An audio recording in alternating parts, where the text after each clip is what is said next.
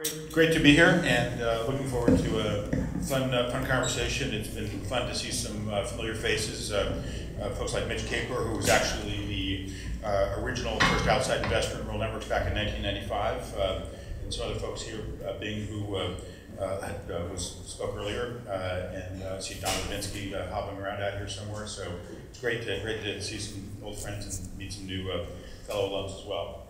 So I'm going to just do a, quick uh, summary of uh, uh, who I am and my, my, my background. Uh, I uh, grew up in New York. Uh, I started at Yale 35 years ago, which is a number that scares me, but it's mathematically correct. I did my first company, started my first company while I was at Yale in the fall of 81. I worked for IBM this summer. The IBM PC came out and it was a great place, right place, right time kind of thing. Started a company that made games for the IBM PC. We started working on them in the fall of my junior year. Uh, took the summer off the, uh, and, uh, and uh, finished the games and distributed them nationally uh, with a couple of classmates. Learned a bunch about business uh, and uh, had some fun doing it. It, was, it compared favorably to a summer job, but it was not going to be that company was not going to be a, a, rocket ship for many, many reasons. I figured there was a lot I had to learn and it turned out to be correct. Uh, so I finished in 83 with a BS in CS and a, a Master in Economics, so I kind of had a technical and a kind of a, what class passes for, I guess, a business background coming out of, out of Yale. Uh, and then I spent 10 years at this little software company called Microsoft, and I remember uh, my mom was from uh, California. She still lives just north of here in Petaluma. Uh, so, well, we were living in New York at the time, and when I first talked about moving west, uh, I remember explaining to her that a little company about 250 people, and I was young and I could afford to take a risk, and if it didn't work out, I'd do something else. Uh, and so I know that you all grew up in a world where the notion of Microsoft being a risky place to go uh, is, uh, is kind of a crazy idea, but uh, 30, 31 years ago, that was, the, uh, that was the way people thought of it. Not many people had heard of it, certainly not people that were involved in technology. and I had a fantastic 10-year ride there, learned a ton. then I started Real Networks 20 years ago. Was incorporated in February of uh, 94, so just a little over 20 years ago. Uh, and had a great ride, which I'll talk a little about, and got back on the horse about two years ago. So, uh, and you um, can tell I talk fast, so we got through that hopefully in 90 seconds. So the first uh, five years or so of Real Networks really was a rocket ship ride. Uh, we introduced the internet's first streaming audio system and then one of the first uh, video systems. Uh, we were both a, consumer products and technology and it was phenomenal uh, growth curve, uh, uh, 1.8 million, 14 million, 32, 65, 130, 240, uh, plus or minus. Uh, 240 is interesting though because the first half of that year we also did 130, so we were doubling every year. And then the second half of that year we could see things were changing. Uh, last speaker talked about getting out of Yale right around the time the tech bubble burst. Um, I remember that time very vividly, as you could imagine. we also were hit by a telecom bubble burst in, which we sold a lot of software into the telecom world, and also Microsoft, ironically, was starting to uh, violate antitrust laws, now they competed with us. And while we ended up uh, settling with them very favorably uh, some years later for about three quarters of a billion dollars, uh, the short-term impact was quite negative, as you, as you see there, uh, on, um, on our, our revenues and, and, some other pieces as well. So we had to reinvent the company, and I, in of time, I won't talk about the details of that reinvention, but I will show you the result. Uh, we continued to, after about uh, three years, we revitalized the company, reinvigorated the growth, and uh, got over half a billion dollars in revenue uh, by 2008, uh, which of course was when the Great Recession hit. It was actually a, a few different things happened at that time. Uh, after running Real for about 16 years, I had kids later in life. they're all great now, but I wanted to shift gears for a variety of reasons. I have twins that are now seven and a half and an almost four-year-old. So I, I, after 16 years, I stepped back from day to day. Uh, we uh, Mitch fired, we're hiring my successor, uh, unfortunately twice. Uh, so that was uh, not the ideal way to create uh, create value in the company.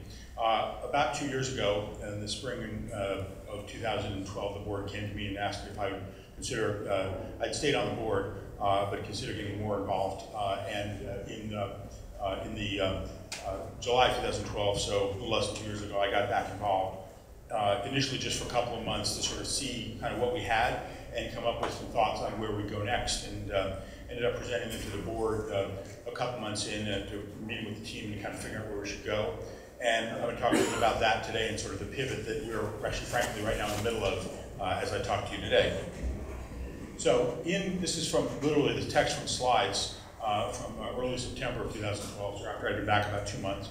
Um, we basically made the first macro decision, which is you have to decide: are you do you do one thing or you have multiple things you're doing? We decided to radically decentralize the company uh, at that time uh, and focus on four things. One, we'd actually already spun off our stake in the Rhapsody music service. We own about 45% of it as, as, we did at the time. Um, and then we had three other divisions that we ended up deciding the best thing to do was to create optimal end-to-end uh, technology, product, go-to-market, business, and sales strategies for each of them. So we decentralized the company quite significantly at the time. Um, we decided to run each business in an independent way um, and would allocate resources based on the combination of the prospects we thought would have for success and, and uh, actually the results it achieved. Um, and then we ended up uh, uh, closing down, uh, uh, uh, spinning off in a few cases, shutting down a few cases, or integrating into some of the mothership businesses the rest of what we're doing. So we refocused the company significantly. And, and then we decentralized, so no more central technology group, no more central marketing group, um, and every 95% of the staff of the company either worked for uh, or was seconded to one of the operating divisions. So we then thought, okay, well that's that's half of it. Then you actually have to have strategies for each of the businesses. And So for the three main businesses, we created strategies to take the real player, which was and is continued to be a very popular software on the PC, but had very little presence uh, on, on mobile devices, on clouds, on televisions, and go very broadly cross-platform with that. Uh, we took our carrier services business, which was called a SaaS business, um, and decided, hey, carriers are good at selling some stuff, but they're really bad at selling consumer products on smartphones. So let's move into a different model around that uh, and create products and services that we will market ourselves in partnership with carriers. Uh, we now call that model Carrot or carrier enabled over the top. Uh, but at the time, the idea was just, hey, we've got to, we had this, all these great products that aren't getting into market. We got to change how we're doing business. And then we have a games division, which is our smallest division. We focused on uh, doing some innovations around uh, social casino uh, games in that business. So we're on the clock forward today, uh, 18 months later, and the strategy we're on is fundamentally the strategy we set in motion in the fall of 2012, which I think is a good thing. In the fullest of time, we'll know for sure, but we didn't, uh, didn't uh, keep iterating. We changed direction, set sail, and started sailing. You know, products, they have an incubation period, a gestation period. it takes time to build them. You know, nine women can't have a baby in a month kind of thing. So we ended up, some of the names of the products changed. The cloud platform Real Player is now known as Real Player Cloud.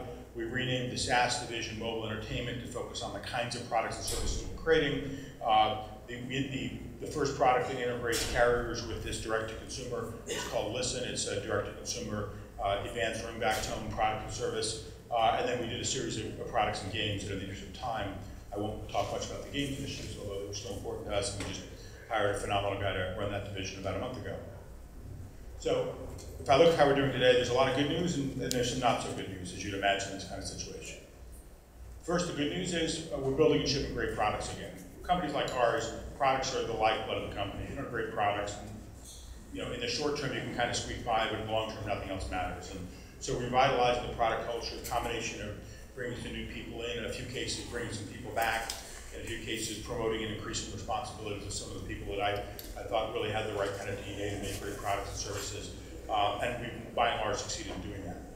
Uh, we succeeded also with some of our major initiatives where we really wanted to be first to market. While we do have some competitive advantages, being first to market is much better than chasing somebody else and just cloning somebody else. If you're super big and you have an existing platform like Amazon, Amazon can be doesn't have to be first, go, first going into selling makeup online.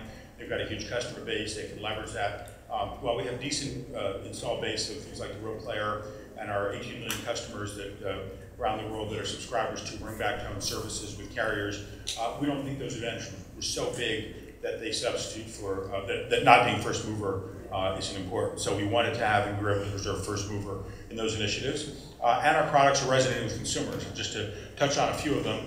Um, uh, Real Player Cloud is probably the single most important initiative of the company. Uh, I'm kind of curious in this group, uh, raise your hand if in the last year you've used either Real Player Cloud or uh, a Real Player on one of your devices.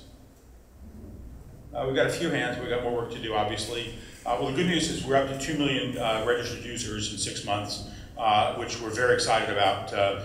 it's really quite, it's a global footprint, about half of that's in the US. And uh, we we, uh, we're now on about 10 different devices, uh, uh every kind of PC, you know, Mac, uh, uh, web device, uh, iPhone, Android, both tablets and phones, uh, three or four different TV devices, uh, Roku, Chromecast, we just recently shipped on the Amazon Fire TV product. Uh, the reviews have been terrific. Uh, Walt Mossberg, uh, you know, famously tough on products, wrote here, said, Real Player Cloud is well designed and makes storing and sharing videos easier across different devices. Uh, we have a technology called SurePlay that makes sure that the video you upload can play anywhere, uh, and that's working well. Uh, so we're, we're off the races with this product. We have a lot of work to do. Uh, we have to increase its virality, which is, you know, we've laid the foundation for that, but the way network effects kick in, you've got to get to some scale in order to have that. We have to keep innovating. Uh, we have a roadmap of things we want to do in the next year. Uh, we're going to keep putting iterations out. Uh, one of the things we changed about the company is we moved to basically from, from waterfall type software development to pretty much full scrum in everything we do. So we iterate and, and are, are, getting our new products out very fast. Um, to get a product of this magnitude out in a year, basically from when we hit the start button and launched in September, October last year, uh, we're super happy with how fast we went, but we have to keep moving fast. It's a, markets are very competitive, as, as everyone here obviously knows. The second product, which just launched in the US last month, uh, is called Listen. Uh, if you're on T-Mobile, it's available now. Download it, try it, check it out. It's a next generation ringback tone product. Um, we, it's, it's frankly, uh, ringback tone barely touches the, scratches surface of what it is. We uh, allow, we have this uh, relationship with carriers where we can insert things in the call path. So when, when you call me, you don't necessarily just hear ring, ring, you hear what I want you to hear, which could be music, it could be, hey, I'm in a meeting, call me back. Uh, I'll call you back in an hour. Hey, I'm in a meeting, send me a text. You know, it could be, uh, you know, if your if your girlfriend calls, uh, could be, you know, hey, uh, would you pick up a, a, a loaf of bread? Uh, I forgot to. You know, you can you can put whatever you want in that call path. Uh, in, in, music, audio, notification messages, etc. And we're just building that out with really good apps for smartphones. We have both iPhone and Android versions of those apps we market the service ourselves. There was a great discussion a couple sessions ago on how you do SEM and direct to, direct to uh, end user consumer marketing. Carriers typically aren't good at that. They have some structural advantages. They have the billing relationship with you, which we leverage. They have the phone number, which we leverage. Uh, they have the point of sale distribution, which we uh, leverage. But in terms of really getting out there and being scrappy and creative in marketing, all the different touch points to consumers, uh, typically carriers don't have that DNA and that skill set. So the fact that we are not taking this on ourselves sets us up to be successful. Very early days yet, but I feel good about the trajectory this is on. We're also in the market in the UK and we're rolling it out to carriers around the world. Uh, the not as good news, uh, the first point is that the turnaround is going to take longer than originally thought. Uh, uh, we did an earnings call yesterday and we sort of said as much, or day before yesterday, we sort of said as much that we think it's going to take a couple quarters longer than we wanted it to. Uh, that's a combination of sort of the physics of these things. Uh, related to that, it's going to end up costing a little more than we thought. Now, in hindsight, both those things are predictable. Ever been involved in building new products, building new businesses, things always take longer than what you thought. And I, I, you have to differentiate one of the things in, in this kind of role between signal and noise, which is to say, when a delay is a, uh, a one-time offset versus is a structural problem, like you're not building the software fast enough, or you're not closing sales fast enough. And one of the things that it's very hard to teach entrepreneurs um, is when to signal uh, check or pattern match the difference between something that's moving more slowly because of one-time offsets versus something that's moving more slowly because of a more structural or fundamental issue. And I feel good that, fun, that big picture, we're on the right track in both of these initiatives, uh, as well as some other initiatives in the interest of time, I'm, I'm not uh, touching on today. Uh, but we got a lot of work to do prove that.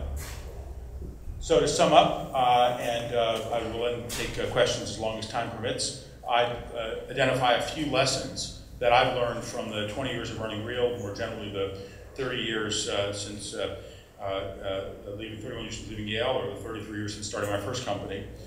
first is, that, of course, that startups are hard. they're not for the faint of heart. They're, um, they're not trivial. Um, and they have a very statistically low success rate.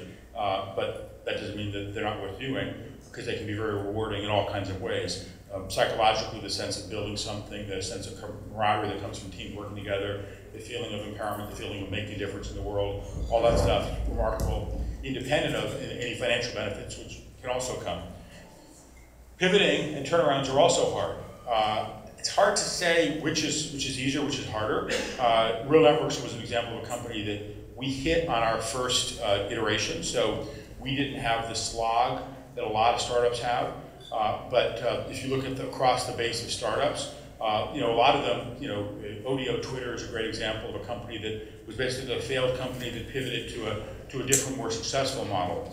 Uh, there's the, a lot of times people start on something, takes time, uh, then they iterate. So I would say both are hard, and not sure one's harder than the other. The one thing about a turnaround or a pivot that's a little harder is you have the higher risk of distractions because you've got all this legacy stuff around you. That's probably the biggest difference. I would say, having said that, both of them require some core attributes, and the five that I identify that I think are central to any big success are at least one great idea. And uh, that is to say, you can have more than one great idea, but if you have zero great ideas, you're not going to build a huge success. And, and it, it's, it's a very judgmental thing to say because sometimes you don't know if something's a good idea uh, in, in, in a great idea in theory, but a bad idea in practice. Uh, if something sounds good, uh, if something is a great idea, but someone else beats you to the punch. So, but a great idea is a central foundation. Second, obviously, you've got to have massive passion for it. One of the things that I always look for when I do angel investing, I'm less active now. I just do a few things a year, but uh, in the period when I was stepped away from running Real, I was more active. I became a venture partner at Accel, who were the VC firm that backed Real, and uh, still work with those guys. And they're, they're super smart. And to a person, one of the things they, that they always look for, and I always look for, was just passion. You know, people that you know, have that run-through-wall passion about what they're doing, uh, and not just the, the, one individual, but the team of leaders that are setting the tone and the culture of the company. Uh, the third thing, which is different than passion, although often correlates, but not always, is persistence in the face of setbacks. I've met some passionate people that just really weren't persistent. They go, they're passionate, but when they hit a wall, they bounce off the wall and they go in a different direction. Sometimes you got to really figure out, okay, where's the piece in that wall that I can break through? Sometimes you got to go around the wall, sometimes you got to go over it or under it. But a lot of times I've found that what differentiates successful entrepreneurs from unsuccessful isn't the passion, it's the persistence in the face of passion, in the, in the face of resistance, and maintaining that persistence, and obviously maintaining the passion uh, that drove you there. Uh, the fourth point I would say is the resources that enable you to uh, uh, uh maintain the persistence. And that's obviously not, doesn't mean you have to have a massive amount of money. In fact, I think one of the things that can happen in bubble environments is companies can get overcapitalized. By that I mean they get sloppy and they lose their discipline and lose their focus, uh, and they're not focusing on the key metrics of what is going to drive their business to be successful. So I think you have, but you have to have adequate resources so that you can persist. Uh, and maybe you have to hunker down and uh, maybe make a team smaller in the face of resistance, but you got to still have the ability to get through the chasm and get to the other side. And the fifth point that I'd make uh, is teamwork and collaboration, uh, which is, it, these are buzzwords in a way, but they're obviously stunningly important. Uh, I uh, uh, talked to Bing uh, after, after his session, and I've heard him say, which I believe he said here, which was on the slides, and he talked about it, that one of the things he thinks is characteristics of Yale alums is a, an orientation towards collaboration and teamwork, and whether it's a, um, a part, of, part of the educational process we all went through, whether it's self-selection on the front end of the funnel. Um, I don't know if I narrowly say that I see that as like a black and white attribute of every Yale entrepreneur I've met or Yale grads that I've worked with in business, uh, but it certainly is something that I think can be undervalued when you get people who are used to super high achievement. Uh, you know, in a place like uh, Yale or Harvard, Stanford, or any of these super difficult to get into schools, you typically get in there on the basis of individual achievement.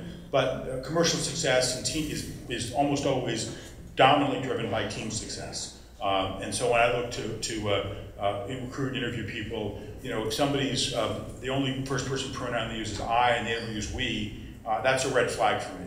Uh, and in doing vetting and reference checking, you know, if we, if we hear that, you know, someone is really smart, but they didn't work well with other people, that's almost always a, a red flag that, that will slow them down or even prevent them from being hired. So I would say that this set of attributes, I think, are core to any success, be it a, a startup success, be it an entrepreneur success, or a pivot or a turnaround. Uh, so with that, I hope you found that uh, a, a reasonable summary of 35 years of life experience and 20 years in real networks, uh, and happy to take uh, questions as time permits.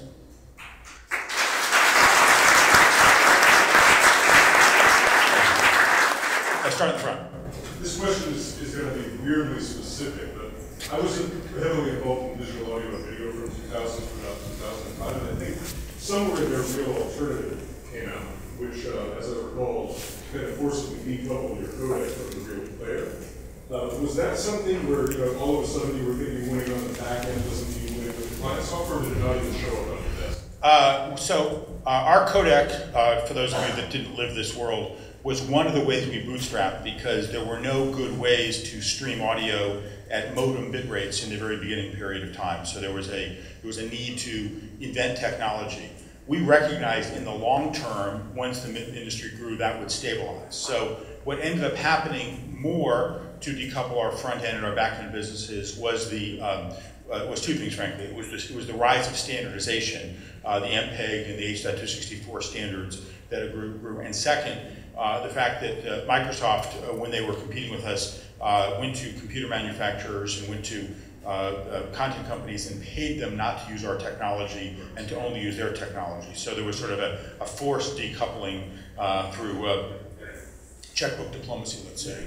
So, uh, so in that context, uh, the, the, there was a sort of inevitability of the decoupling and some, some market things accelerated it. The only market where clones of the real technology had a specific effect on us uh, of note were China. And weirdly enough, that cut a few different ways. The disadvantage is people have stolen our code. They didn't bother like doing a clean room implementation, they just literally stole our code. We've proven in courts in China that it's our code. Um, and the penalty is like 19 cents or something.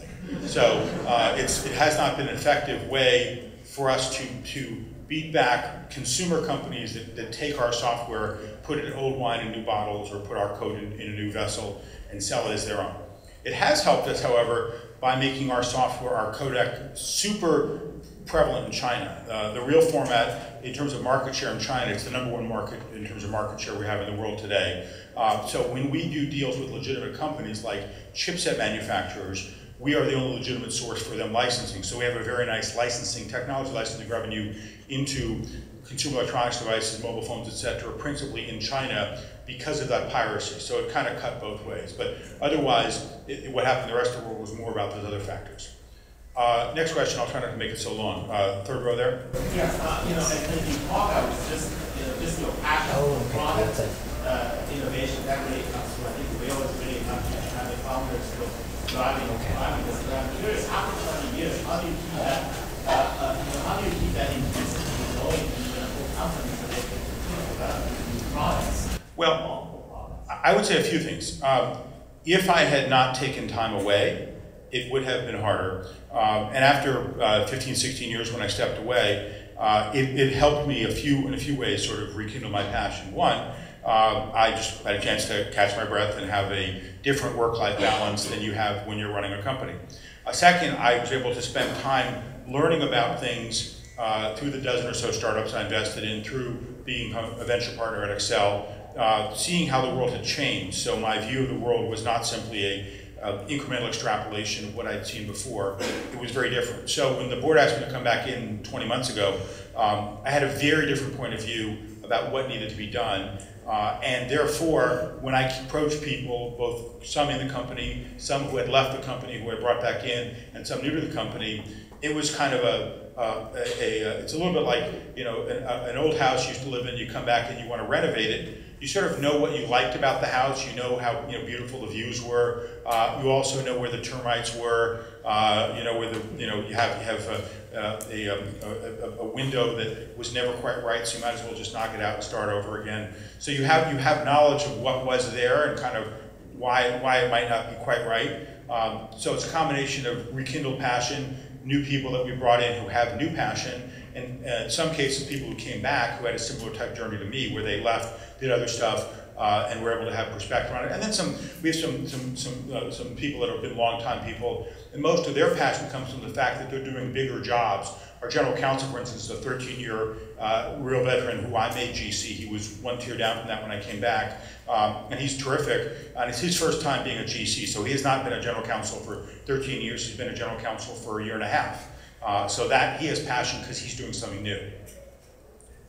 Uh, yeah, question in the second row. Uh, yeah, so you talked a bit about persistence in the face of setbacks, it's not just hitting the wall and bouncing off the direction, direction. But uh, sort of on the other side of that, there's of too much persistence and not recognizing that you need to go in a direction. So I just wondering how you think about that. Uh, well, it, I think it's a trade-off. I think you sort of have to uh, you have to approach these things with um, almost uh, not a schizophrenia, but a dichotomous view, which is to say your default has to be you know, uh, persistence and energetic focus on how are we going to achieve what we set out to achieve. And then you have to have an opportunity, ability to step back and say, hey, are we uh, not achieving what we wanted because uh, it's not going to happen? Are we not achieving that because you know we're, we're achieving four out of the six things we have to do, and we have to fix the other two? And then being being objective about whether the two that you, that are not happening are easily fixable or hard to fix, um, and if those two that aren't going right, if you have a subs- if you have a strategy for you fix one of them, and then you can still be successful. So it's a combination of you really have to bring that that that persistence uh, to the to the table almost all the time. But then you have to have a, a willingness to step back periodically. Uh, Andy Grove, uh, the former CEO of Intel, uh, wrote a few books about management, and he called these things strategic inflection points, which is where you have to be willing to step back and say, is this going the right? Is the world changing? What do we do?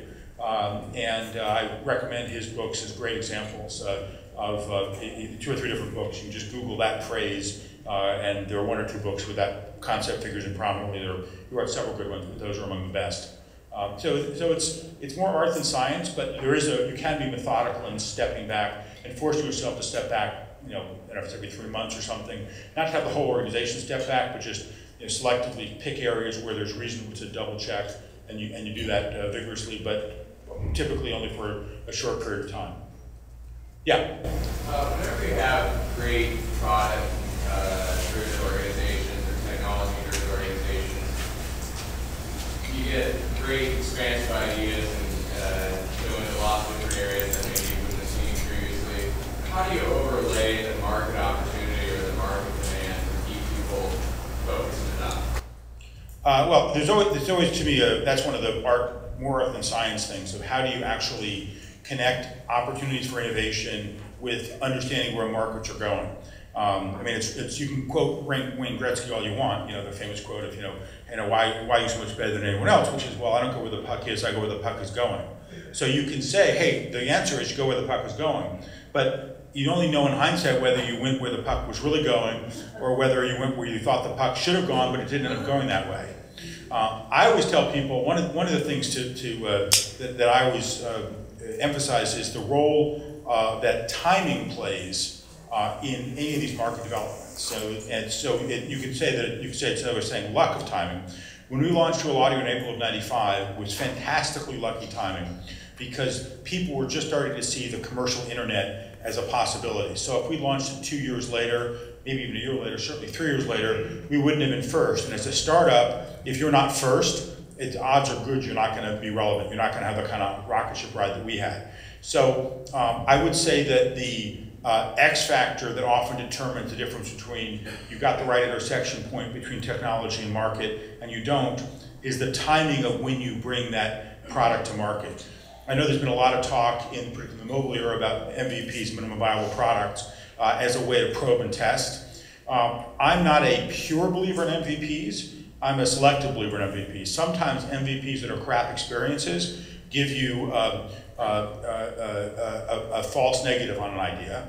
Um, and sometimes if you if you rush into something and you don't implement it in a way that's great, uh, you can you can hit that. Uh, you know, if you look at uh, you know take take something like I mean it's a massive obviously financial success from an investor standpoint. WhatsApp, right?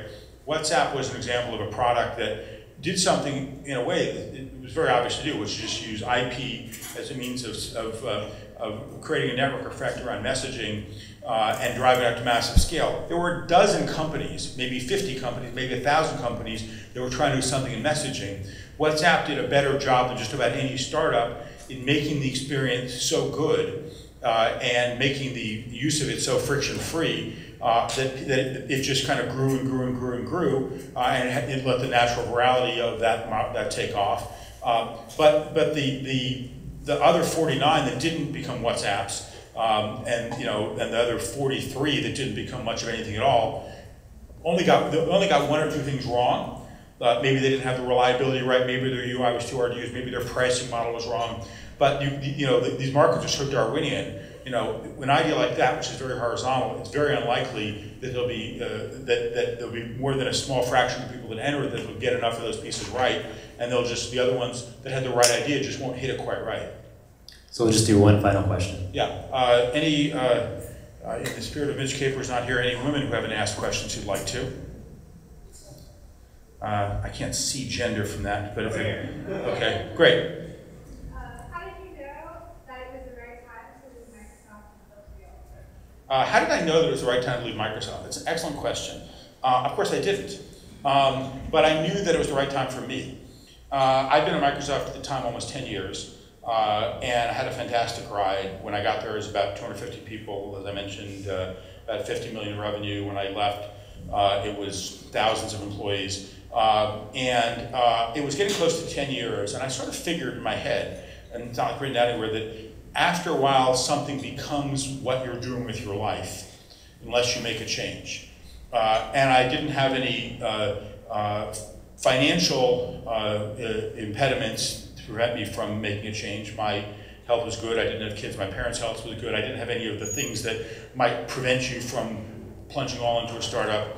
Um, I didn't know that the internet was coming. In fact, when I first started, longer story than time for today, but uh, I was equally focused on uh, the dial-up co connectivity world that I knew something about, uh, and I and also the world of interactive television. And I spent time about six months probing each of them. So I was hopeful that it was a sea change, but I didn't know. The, the aha moment for me actually came Memorial Day weekend, 19, uh, uh, 1993, when I went to an Electronic Frontier Foundation uh, board meeting in Austin, Texas. Mitch Kapor, who's a good friend of mine, invited me to it. Uh, and a guy on the board named Dave Farber, who truly is one of the fathers of the internet, gathered us all around the table and said, have you ever seen this mosaic thing? I had not. It was an early version of the NCSA Mosaic web browser that Marc Andreessen and his band of young pirates at the University of Illinois Champaign-Urbana were working on that had just been released into the wild. It was very simple, very primitive, the best thing that I had on top of it, ran on Windows, uh, but it also had, and Macs, and it had a, a tag for images in it. And so literally upon seeing that, I was like, wow, if we could do the same thing for audio and video uh, that that thing does for images uh, and text, we could have do something amazing. And so it was literally, I was in the right place at the right time. It was after I had basically left Microsoft, about three months after. I took a couple months traveling abroad, came back, and through a, a brilliant friend uh, who had a you know very creative group of people in a nonprofit context, that I discovered the proto commercial internet. So again, if you always have to choose between being lucky and good, uh, pick lucky every time. Great. So, thank you very much.